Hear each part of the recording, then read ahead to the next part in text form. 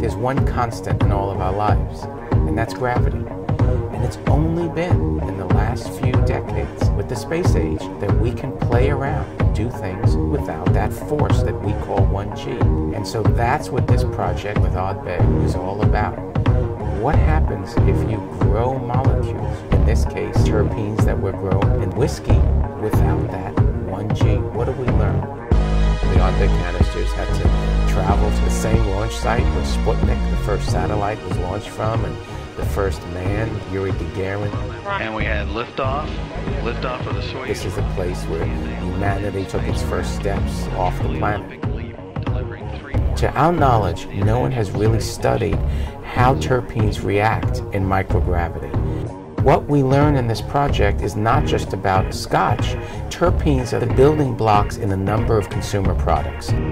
The question here is, as the terpenes are exposed to the oak, will they behave differently? Will you get a different taste? And for the past two years, they've been sitting there on the space station, hopefully aging away and coming up with all new flavors, we hope. To get it back down on the Earth, and they'll put the nano lab filled with the canisters, the Ardbeg canisters, in the U.S. approved cargo, and we've reserved precious space at the feet of the astronaut. And they'll close the door and they'll push back and decouple from the space station, and then they begin the descent. And uh, there is the Soyuz under its chutes as we are standing by for touchdown. Touchdown confirmed. Right on the button, 8:23 a.m. on the steppe of Kazakhstan, back on Earth. And when they land, they remove the uh, astronaut.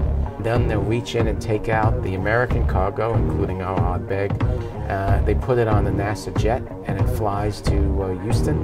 And my guys take it off the jet, and we'll have some very rigorous examination working with the scientists at Ardbeg to see if the terpenes have behaved differently.